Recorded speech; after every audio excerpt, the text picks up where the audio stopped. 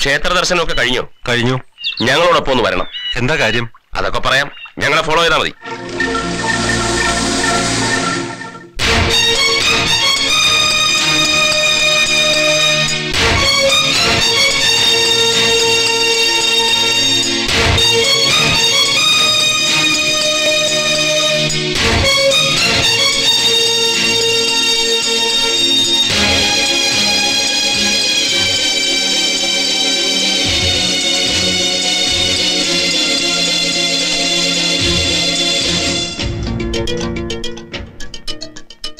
C B ഐക്ക് കിട്ടിയ വിവരം അനുസരിച്ച് മരണം നടന്ന ദിവസം രാത്രി അണിമംഗലത്തുണ്ടായിരുന്നത് അഞ്ചു പേരാണ്. അതിൽ മൈഥിലിയെ ഒഴിവാക്കിയാൽ ബാക്കി അനിത രശ്മി ലക്ഷ്മിയമ്മ മായ. ഈ പറഞ്ഞ നാലു പേരുടെയോ അല്ലെങ്കിൽ പുറത്തുനിന്ന് ആരുടെയെങ്കിലുമോ സഹായം ഈ കേസിലെ പ്രതികൾക്ക് ലഭിച്ചിട്ടുണ്ട്.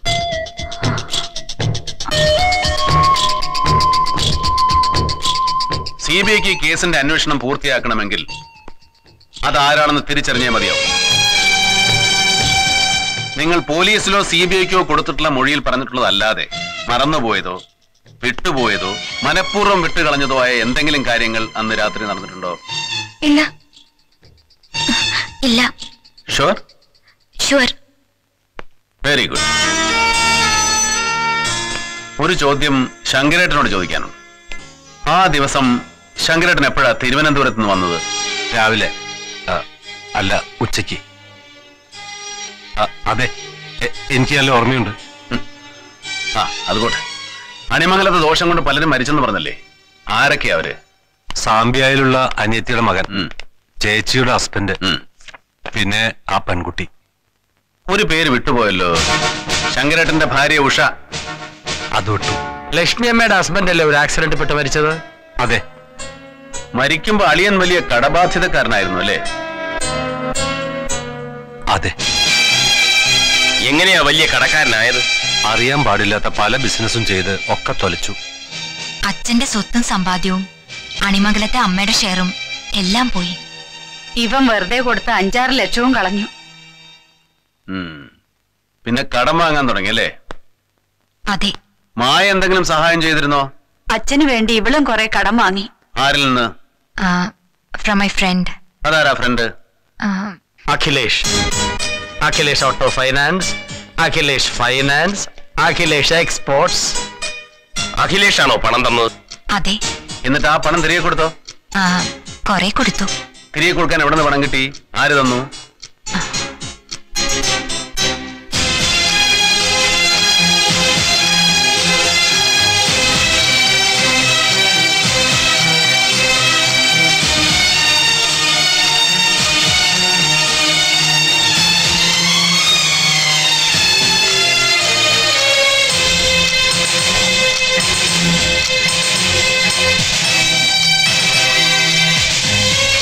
ഇയാളാണോ പണം തന്നത്? ഇയാളെ എനിക്കറിയില്ല. ഞാൻ പണം വേലുവിന്റെ കയ്യിലെ കൊടുത്ത്. വേലു വഴിയാണോ പണം കടം വാങ്ങിയത്? അല്ല. പിന്നെ കടം വിട്ടാനുള്ള പണം ഇവിടെ നീട്ടേ ആചാരി കൊടുത്ത പണം വേലു വഴി വാങ്ങിയിട്ടുണ്ട്. കടം തീർത്തിട്ടുണ്ട്. അല്ല സാർ ഒരു ഡൗട്ട് ആളെ നേരിട്ടറിയാതെ പരിചയമില്ലാതെ ഒരു സെക്യൂരിറ്റിയും ഇല്ലാതെ ഇക്കാലത്ത് ആരെങ്കിലും കടം കൊടുക്കുമോ സെക്യൂരിറ്റി ഇല്ലെന്നാര് പറഞ്ഞു? സെക്യൂരിറ്റി ഇല്ലേ ആചാരി?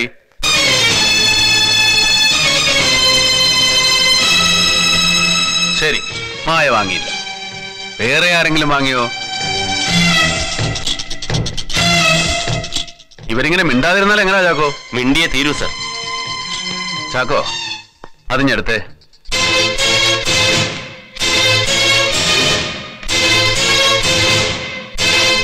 മൈഥിലി മരിച്ച ദിവസം ലോക്കൽ പോലീസ് ഇൻക്വസ്റ്റ് നടത്തിയപ്പോൾ എടുത്ത ഫോട്ടോസാ ഇതെല്ലാം.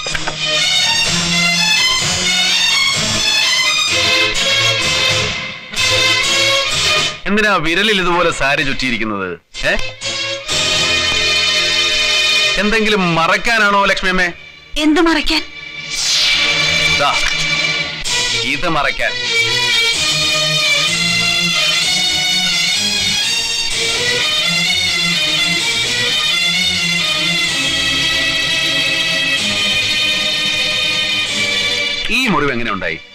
സംഭവം നടക്കുന്നതിന് മൂന്നാൽ ദിവസം മുൻപ് കറിക്കോ മറ്റോ നുറുക്കുമ്പോ കത്തി കൊണ്ട് മുറിഞ്ഞതാ. അതെന്ന് പോലീസ് ചോദിച്ചപ്പോ ഞാൻ പറയും ചെയ്തു.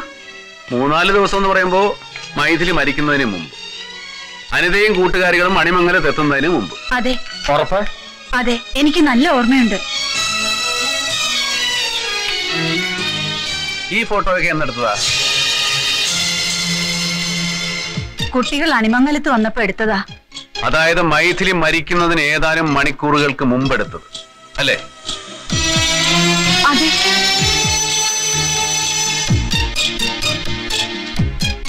എന്നിട്ടെന്തേ ആ ഫോട്ടോയിൽ കാണുന്ന വിരലിൽ മൂന്നാൽ ദിവസം മുമ്പുണ്ടായ മുറിവോ പ്ലാസ്റ്ററോ ഇല്ലാത്തത്? മൂന്നാൽ ദിവസം മുമ്പുണ്ടായ മുറിവ് പെട്ടെന്ന് എങ്ങനെ അപ്രത്യക്ഷമായി? അടുത്ത ദിവസം വീണ്ടും ആ മുറിവ് എങ്ങനെയാണ് പ്രത്യക്ഷപ്പെട്ടത്? മുറിവ് എപ്പോഴും ഉണ്ടായത്? എനിക്ക് നല്ല ഓർമ്മയില്ല. ചിലപ്പോ ആ കുട്ടി മരിച്ച ദിവസം രാവിലെ ആയിരിക്കും സാർ. ചിലപ്പോ ഒന്നുമല്ല പെൺകുട്ടി മരിച്ച അന്ന് തന്നെയാണ് മുറിവുണ്ടായത്. അത് എങ്ങനെ ഉണ്ടായി? അതാണ് ചോദ്യം. അത് എനിക്ക് നല്ല ഓർമ്മയില്ല. ഞാൻ ഓർമ്മിപ്പിക്കാം.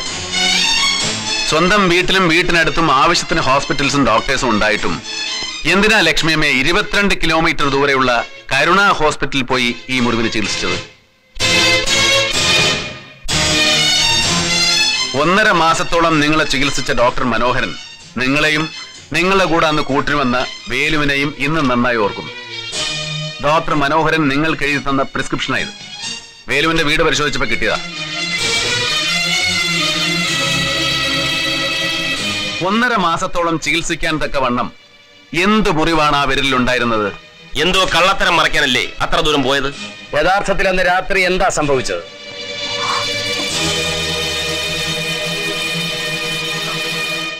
ഇനി പറയൂ ലക്ഷ്മിയമ്മേ അന്ന് രാത്രി നടന്ന സംഭവത്തിൽ നിങ്ങളുടെ പങ്കെന്തായിരുന്നു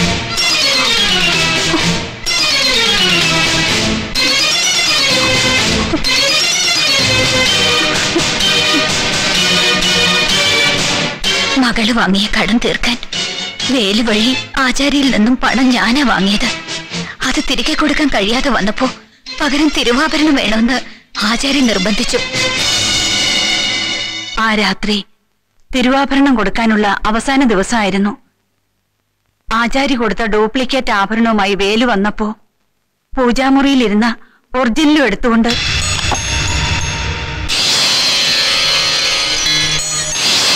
പുറത്തെ സ്റ്റെപ്പ് വഴി ഞാൻ മുറ്റത്തേക്ക് വന്നു. പ്രതികളോടല്ലേ ഞാൻ പറഞ്ഞത് വരണ്ടാന്ന്? പ്ലീസ് വരണ്ട. വേണ്ട.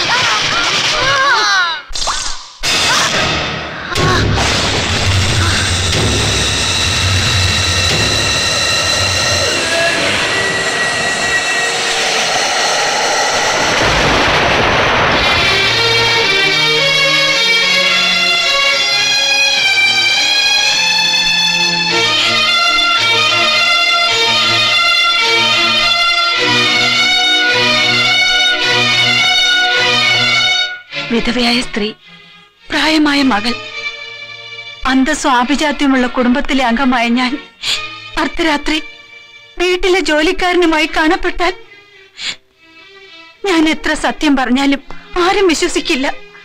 എത്ര തേച്ചാലും വായിച്ചാലും അതുകൊണ്ടുണ്ടാകുന്ന അപമാനം തീരില്ല. ആ സമയത്ത് എനിക്ക് മറ്റൊന്നും തോന്നിയില്ല. തിരുവാഭരണം കൈമാറുന്നത് മൈഥിലി കണ്ടു കാണുമെന്നതിനേക്കാൾ ഞാൻ ഭയന്നത് തെറ്റിദ്ധാരണ മൂലം ഉണ്ടാകുന്ന അപമാനത്തെയാണ്. ഒന്ന് ചോദിച്ചോട്ടെ? മൈഥിലിക്ക് പകരം ആ കാഴ്ച കണ്ടത് നിങ്ങളുടെ സ്വന്തം മകളായിരുന്നെങ്കിൽ നിങ്ങൾ അവളെയും കൊല്ലുമായിരുന്നു? തെറ്റ് തെറ്റ് തന്നെയാണ്. എങ്ങനെയൊക്കെ ന്യായീകരിച്ചാലും. ഉഷയെ വേഷം കെട്ടി പേടിപ്പിച്ചതിന് അഞ്ഞൂറ് രൂപ കിട്ടി. ഈ സംഭവത്തിൽ വേഷം കെട്ടി പേടിപ്പിച്ചതിനും കണ്ട സത്യം മറച്ചു വെച്ചതിനും കൊലയ്ക്ക് കൂട്ടുന്നതിനും കൂടി എത്ര കിട്ടി? അഞ്ചായിരം രൂപ കിടക്കാച്ചു സർ. അപ്പൊ ഇൻക്രിമെന്റ് ഉണ്ട്. ലക്ഷ്മിയമ്മേ ഈ കേസ് തെളിയിക്കപ്പെടണമെന്നുള്ളത് ദൈവനിശ്ചയമാണ്. ഇങ്ങനെ ഒന്ന് ഒരു കേസിന്റെ മർമ്മപ്രധാനമായ തെളിവായി തീരുന്നത് സി ബി ഐയുടെ ചരിത്രത്തിൽ തന്നെ ആദ്യമാണ്. ഇത് ദൈവത്തിന്റെ അടയാളമാണ്. A sign of God